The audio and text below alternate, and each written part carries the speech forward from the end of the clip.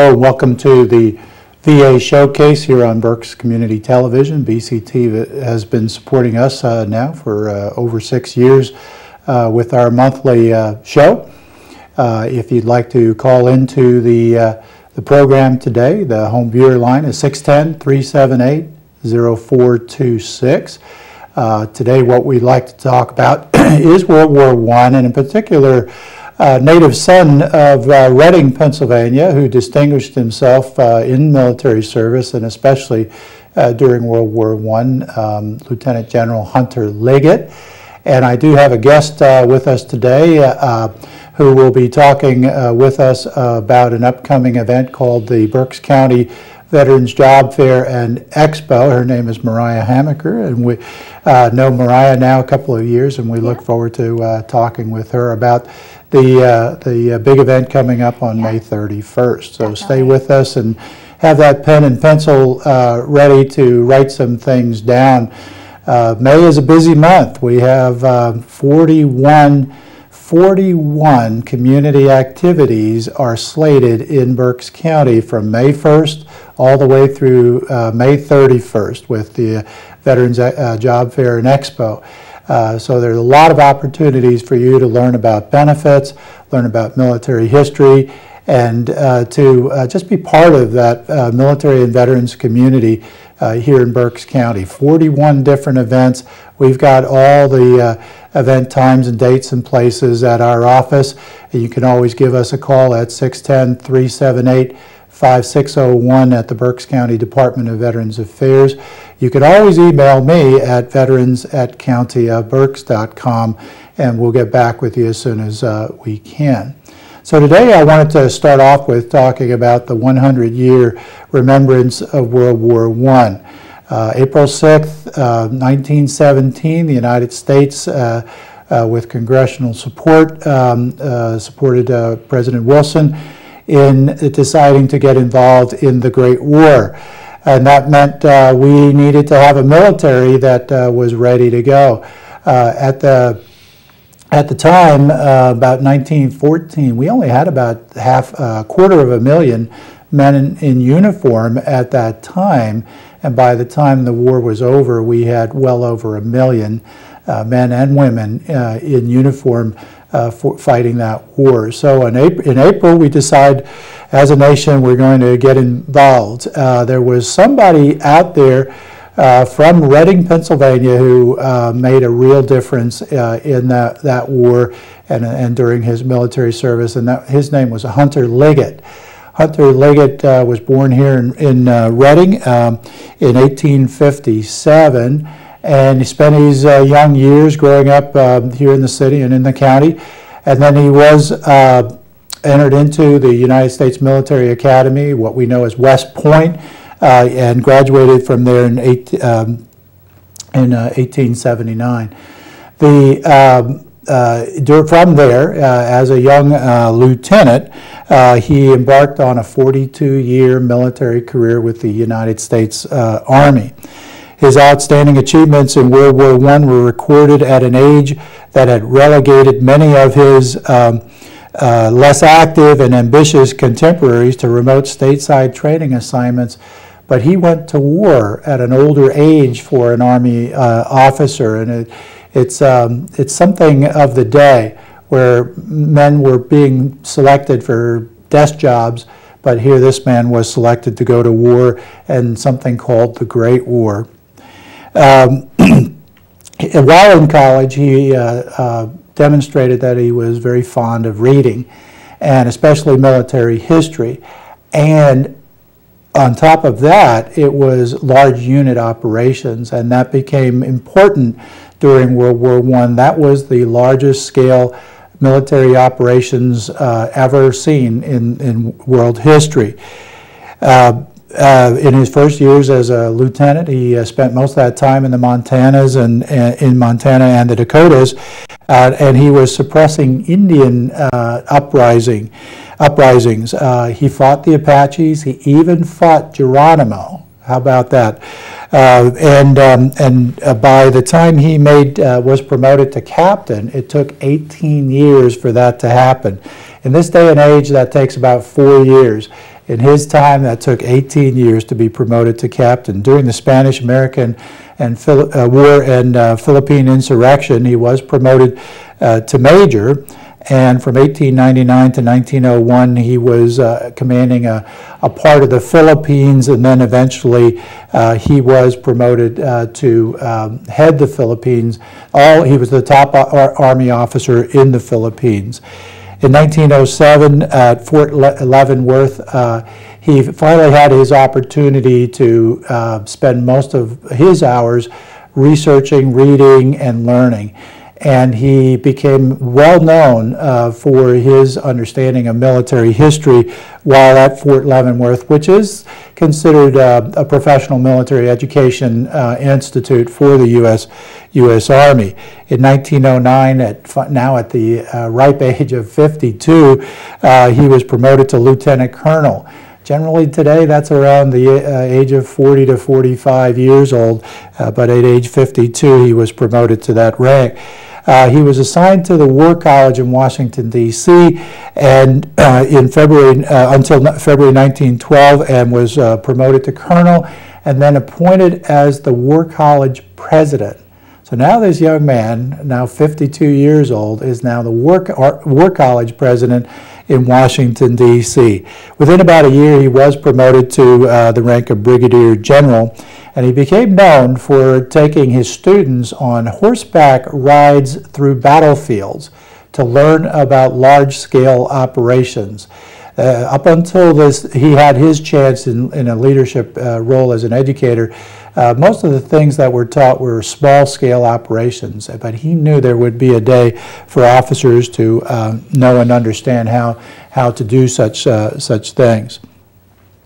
Uh, he was uh, from the War College appointed to a brigade, an infantry brigade in Texas City, Texas, and he was preparing uh, them uh, when he was uh, picked up and moved back to the Philippines, again as commander, um, and this time at the, as, at the post known as Fort William McKinley and uh, they prepared for the defense of Luzon against enemy forces, uh, Luzon being a, a, large island. And from April 1916 to 17, um, he commanded the, the um, uh, Philippine military uh, and U.S. military. With um, U.S. declaration of war in 19, April of 1917, he was then a major general. He had been promoted to a major general, and he was the commander of the Western Department, the Western United States, and he was preparing the West Coast for invasions and uh, getting uh, the troops and, and all the civil defense ready for that. In September of 1917, we're uh, now in the war uh, as of this point. He was appointed to uh, Camp Greene, North Carolina, and then he and a number of other general officers were shipped over to Europe to look at the battlefield and see what it would take to bring in American forces. Well, actually, that was a job interview with uh, General Blackjack Pershing. And General Pershing um, really was hesitant about bringing him aboard as a commander because of his age, and he was a fairly tall and hefty man. In fact, uh, General Liggett was uh, quote, uh, quoted unofficially as saying, I don't care if my officers are fat below the shoulders, but I never want them fat above the shoulders, meaning that he always wanted uh, his officers to be clear thinking and good leaders and able to assess the battlefield and command their troops. So uh, he did pass the job interview, and he was brought aboard in uh, January 1918 uh, when the American First Corps, uh, what famously now is referred to as the I Corps, uh, was organized. Uh, he assumed command. He was this man from Reading is now the first commander of this famous command, now famous command, and. Um, on 4 July 1918, uh, he was given, finally given the, uh, a battlefield sector uh, and told to go fight the enemy at a place called Chateau Thierry. And uh, this, uh, it was a bloody battle, uh, and it went on for a long while. But notably, this action was the first time since the Civil War that American that an American corps had operated in a combat situation, and the first time since the War of Independence that an American command had foreign troops under its control. He had a French division. He then moved on uh, from uh, Chateau Thierry uh, to Saint Mihiel, another uh, battle line with, with the Germans, and at that time his corps was formed with the American First Army. And the American First Army is pretty famous uh, uh, coming out of World War I and into World War II. And now he's been made a lieutenant general and appointed to command the First Army. Uh, and the reason uh, for that was General Pershing was moved to commander of all forces uh, in Europe, and um, all American forces, excuse me. And, uh, uh, and he was given the uh, General um, Liggett was given the First Army as his command. Well, that took place on July 4th, 1918. November 11th, 1918, the war is over and the armistice is signed and peace reigns. And he stayed aboard uh, for uh, another uh, couple of years and retiring in 1921. And um, in that uh, time, then he was relegated back to a peacetime general, and, and so he lost a star uh, uh, back to Major General, but in 1930, uh, Congress advanced him to his former rank of Lieutenant General and retired him as such. Uh, he died in 1935 and he's buried uh, in California. Two remaining notables I'd like you to know about is uh, that a fort was named for him out in California. There's Fort Hunter Liggett, uh, named for him uh, for all that great work that he did on the West Coast. A fort was named for him.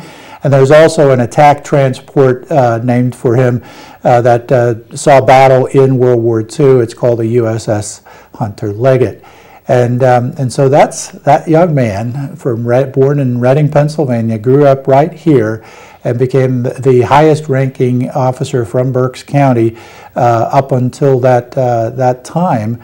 Uh, so uh, it's pretty remarkable that uh, we have this. He's just one of many here in Berks County that we love to talk about as far as uh, military history goes. And and he was around for 42 years in that U.S. Army of ours, and and uh, and all that uh, comes back to our our local area.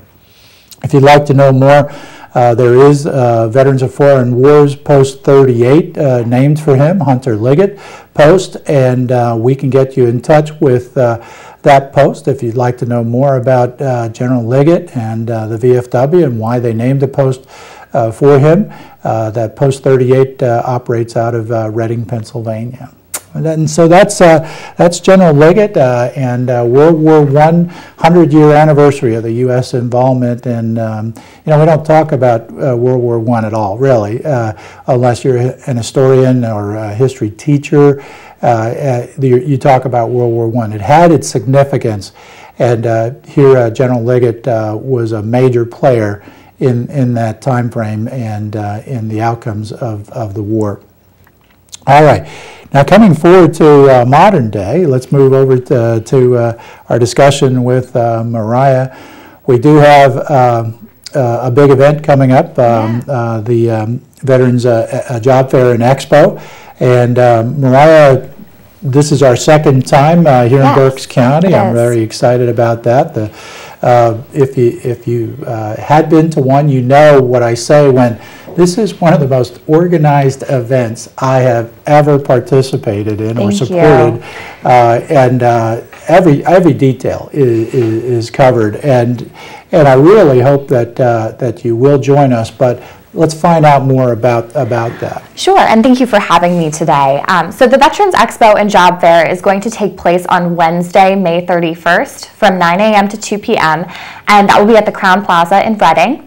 And there are two components to our Veterans Expos and Job Fairs. The Veterans Expo is there for veterans to get connected to benefits, services, and resources that they've earned through their service. So um, the Berks County Veterans Affairs Office is going to be there, as well as Disabled American Veterans, the American Legion, Pennsylvania VFW, um, and a lot of other organizations will all be there to give information to veterans and their families.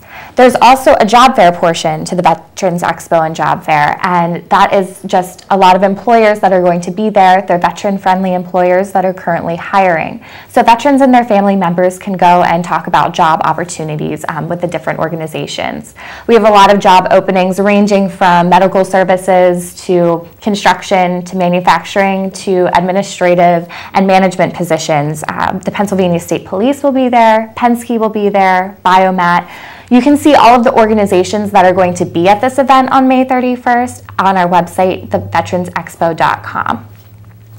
So um, we also have a lot of grassroots nonprofits that will be present throughout the day for the event. Um, the Quilts of Valor will actually be there and be presenting a quilt to a nominated veteran at our opening ceremony at 9 a.m. Um, we also will have Canine Partners for Life there, as well as Keystone Military Families. Um, and like I said, you can see all those organizations on veteransexpo.com. Um, and then we also have a resource center, so that way veterans uh, are able to go and have their resumes reviewed before they go speak to employers.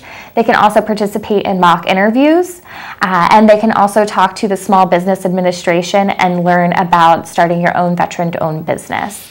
So there'll be a lot of things going on throughout the day, and once again, that will take place on May 31st from 9 a.m. to 2 p.m. at the Crowne Plaza in Reading.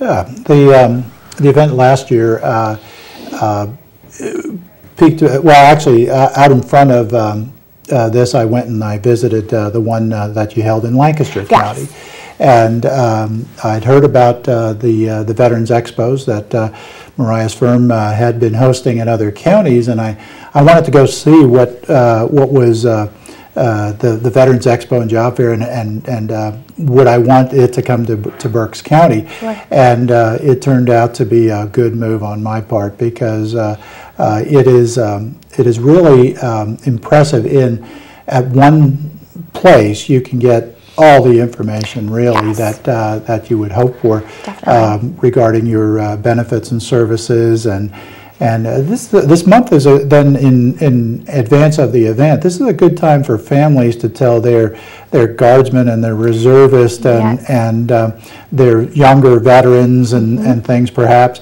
uh, to uh, uh, consider uh, taking the day and, or part of the day and coming to the, uh, the job fair and the expo. Absolutely. Yeah, there's a lot of information to be found, um, you know, both on finding a job and, you know, on the resources and benefits. So definitely younger vet, vets would really benefit in Guard and Reserve for sure. What's the, the type of feedback that you get from the participants who come out? And, and then let me follow up and say, how about the uh, exhibitors and, and Sure. and the employers? Yeah, so we have attendees that tell us that they come every year because we've been hosting these in Lancaster now for three years and York for three years as well. Um, and they say they come back every single year because every year they learn something new about the benefits that they have available to them that they didn't know before.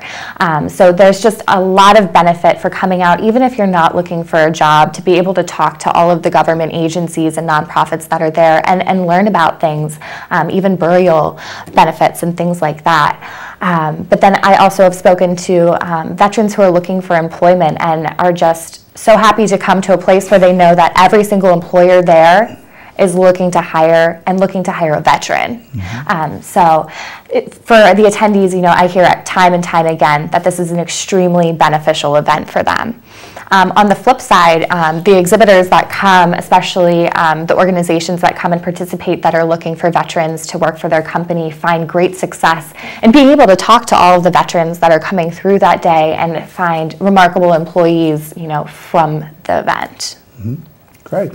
So, you know, I hear from folks, uh, well, I never knew about benefits and services. I never knew about opportunities and, and, and um, uh, this, this gives reason for coming out and just Yeah. casually walking through Sure. and talking with, uh, with the folks who come out, doesn't it? Absolutely. And, you know, even if you're not necessarily looking for a job while you're there, you can still even peruse and, and talk about part time work if that's something that you're interested in. But yeah, I mean, just coming that day of to just talk to all of the organizations that are there, um, that are there to talk about resources and benefits to veterans. Yeah. If I can reach out to the, uh, uh, to the folks um, uh, who have uh, served in, in um, earlier years, like Vietnam and older, uh, grab a young veteran and, and bring that, that veteran or that guardsman and that, that, that uh, reservist and even the active duty folks who may be considering getting out, uh, who are in your family or friends network, grab them and bring them on out with you. Uh, don't just go back home and talk about the event. Bring them with you and uh, make it a family day.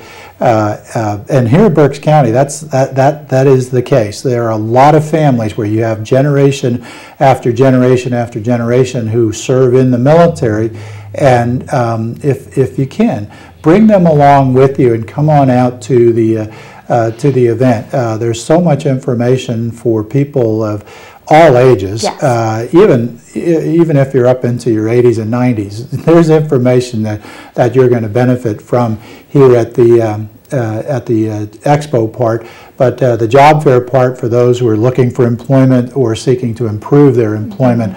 Uh, this is a really a great day for for that. Uh, and talking with employers at the job fairs, uh, they really want to hire veterans because veterans, guardsmen, and reservists bring uh, a number of good things to the workforce. Uh, one, it's talent. It's there's leadership, there's spirit, there's initiative, there's resourcefulness. Um, people come to work on time. Uh, Yep. things that, and, and they stay through their their shift and and, um, and they're uh, motivated and uh, they are good uh, uh, team workers and and so there's uh, there are all kinds of good things that employers mention to us uh, about that. And then feedback from veterans uh, has been for me is that uh, they always appreciate a, a job fair that's focused on, Yes. on them. And, Definitely. and this is this is uh, part of your firm's vision and uh, is to extend that into our community and Mm-hmm. Yes. get all these great employers in our regions uh, of central Pennsylvania to include Berks area to um, uh, to be part of this, isn't Yes, it? Yeah. absolutely. It's a big event. It is. It's a it's a big event. We pretty much take over Crowne Plaza. Yes, in- we in- do. in It's a way. very big event. But it's not so big that, that you'd find it uh, uh, uh, to be uh, off-putting in- No. in any, in any way. A lot of personal touch when, when I go around and I, I see uh, exhibitors and employers talking with people. It's a great opportunity for um, people to be able to come and talk to the local businesses and employers face to face and have that time where you're actually looking and speaking to a person instead of trying to figure it out on your own online. Um, so, yeah, there's definitely a lot of personal touch there, a lot of face to face contact.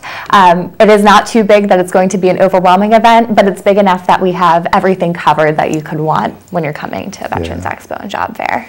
Yeah, this is, uh, uh, from a, uh, an event standpoint, um, uh, talking with friends in other parts of the country uh, that uh, serve with me in the military, um, they have nothing like this. And, and, uh, and, and to have it in our backyard, r- right, Yeah. ready uh, and available, it's something that we shouldn't take for granted and uh, just pass on it and say, well, I'll get my information any, any other way. It really is uh, important to, uh, to come on out. And I, the one thing too that uh, has really no direct con- uh, um, correlation to why the expo and, and job fair is held, but I love seeing all these veterans uh, seeing one another for the first time in, in a long while. And, and it kind of serves as a, as a reunion uh, for the, uh, uh, for, for the folks who, who come out. And um, uh, today's veteran, uh, modern day veteran, uh, younger veteran, uh, does uh, uh, connect uh, with many people through social media, but there are lar- large groups of folks uh, uh, as they age, they, they still do uh, drift apart. And then they, if they're living in the local area and, and come out, they, they see one another, they reconnect. Um, it's a really good, good thing. There are a lot of uh, veterans groups that uh, want to make sure that you know all about your benefits and services. The American Legion, the VFW, the Disabled American Veterans, Yep. the Vietnam Veterans of America, and many more. Yep. Uh, and, uh, and this is a great uh, opportunity just to learn about those organizations too. Uh, they are of tremendous value to a veteran, and uh, and then our office is there, and we want to uh, make sure that we. Our job is to get you in touch with all the right people, and then to have a major event like this in, in Yeah. Berks County uh, each year, um, once a year. uh, is uh, is a really good uh, community um, community thing. Uh, the uh, the folks who have had met perhaps problems with uh, the VA in the past and such, come on out. Let us know about uh, about those uh, those problems you've had. If you've applied for enrollment into VA healthcare uh, once before and have been turned down because your income is too great. Uh, maybe a long while ago, it was because your net worth uh, uh, for your assets uh, wa- was too great. Uh, that's changed. Uh, net worth is no longer used, uh, but a lot of folks come to me and ask me about enrollment in VA healthcare, and they've been been turned down. And that this is a great opportunity to talk with all the right people about uh, how to how to make a difference and and uh, make that happen uh, for you. A lot of folks talk to, to us about uh, their family members and uh, what, what happens if I die. Uh, and the exhibitors are really ready and able to, to talk, talk with folks about the, the survivor benefits and burial memorial benefits and things that, that are available to, to our families. Uh, so it's not just for the veteran, the person who served in uniform. Uh, the family members are encouraged to, uh, to come along and, uh, and uh, bring friends. Um, uh, if you have a card club, if you have a, um, a golf team, uh, whatever it may be, uh, all those veterans and that are that are part of that network, or even survivors of the deceased veterans, uh, this is still a worthwhile event to come on out. Uh, any more that uh, you'd like to share? Yeah, just kind of bouncing off of that, it is, it's an event for veterans and their families, so everyone is welcome. So even if uh, you're related to a veteran who isn't for some reason able to make it to the Veterans Expo and Job Fair, please come down, get some information, you know, see what all is out there, um, because you're more than welcome. And once again, this is on May 31st, that's a Wednesday, at the Crowne Plaza from 9 a.m. to 2 p.m. Yeah, is there a fee for the event? It is free for entry, um, so it's free for the community to come in and, and get their information. And the Crowne Plaza is a great host, uh, it truly is, and we hope you uh, you can join us uh, for uh, for the special special day. And then uh, again, in between now and uh, May 1st and uh, and through uh, uh, May 30th, if you need any more information about uh, the job fair and expo or about any other event in Berks County that's uh, that's coming up, please give us a call at 610-378-5601 and we'll be happy to uh, get you connected. So this has been the VA Showcase. Uh, Thank you for joining us, and um, we look forward to seeing you next month. Thank you.